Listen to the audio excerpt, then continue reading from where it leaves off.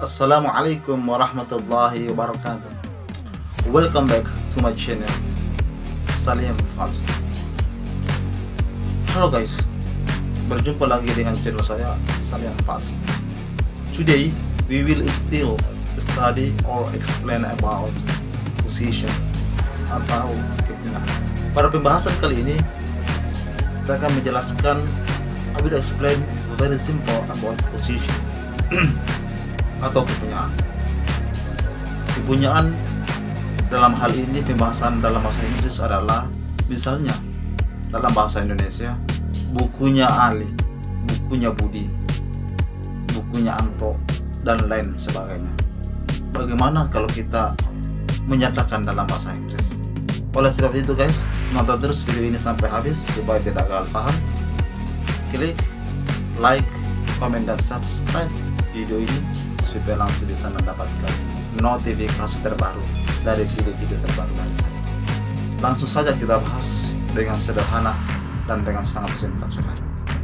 Misalnya dalam bahasa Inggris menyatakan kepunyaan untuk kata benda atau orang atau lain sebagainya dalam kata benda. Misalnya ini pulpen Ali. Dalam bahasa Inggris kita menyatakan this is Alice untuk menyatakan kepunyaan dalam kata benda untuk kata benda misalnya orang maka yang dulu disebutkan dalam bahasa Inggris adalah orangnya atau yang mempunyai barang tersebut. Nama orang kemudian koma atas ditambah lagi s. Misalnya this is Alice book. Ini adalah bukunya. Ali that is Ali's book. Itu adalah bukannya bukunya Ali contoh yang lain adalah kita ingin menyatakan dalam bahasa Inggris tentang uh, miliknya Nunu. Nunu adalah nama orang. Nunu memiliki misalnya memiliki mobil maka kita mengatakan dalam bahasa Inggris that is Nunu's car. Itu adalah mobilnya Nunu. Jadi kepunyaan untuk menyatakan kepunyaan untuk kata benda. Maka nama orang koma kemudian s setelah itu diikuti nama bendanya. Jadi koma s ini biasa dalam disebut bahasa Inggris adalah apostrof koma baru s. Gimana? Gampang kan untuk mempelajari atau memahami kepunyaan untuk kata benda.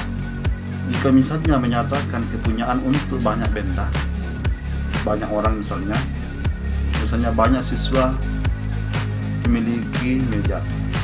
Mejanya para siswa.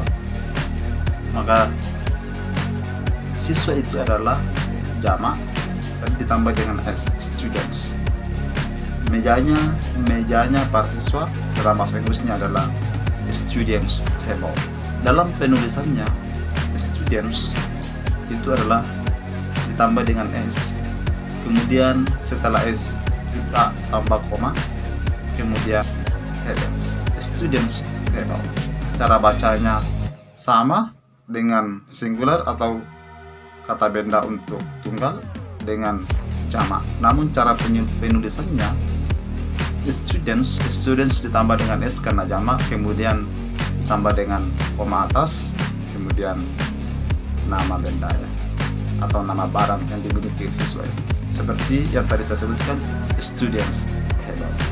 Karena students ini adalah merupakan kata aturan untuk jamak dalam bahasa Inggris ditambah saja nah kemudian bagaimana kalau ada kata benda dan jamaknya tanpa s seperti yang telah saya jelaskan di salah satu video di channel ini yaitu tentang uh, tidak ada penambahan s pada jamaknya contoh child dengan hanya bukan child tapi jamak adalah children. Kita menyatakan bagaimana kalau kita menyatakan tasnya anak-anak? Children artinya anak-anak maka sama. Normalnya jadi children's bag tasnya banyak anak.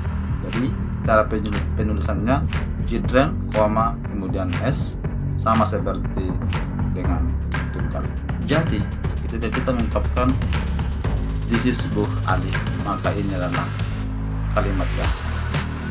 This is book Nunu.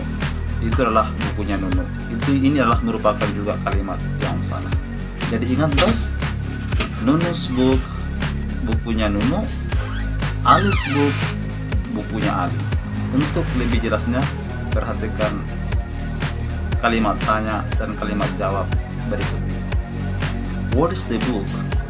The book is on the table. Whose book is on the table? That is Alice's book. Whose book on the chair? That is Nunu's book. Whose book in the class? That is the student's book. Demikianlah pembahasan yang singkat ini. Mudah-mudahan bermanfaat buat kalian khususnya bagi anda yang baru belajar bahasa Inggris atau yang baru belajar bahasa Inggris mulai dari nol see you for the next explanation. See you for next time. Assalamualaikum warahmatullahi wabarakatuh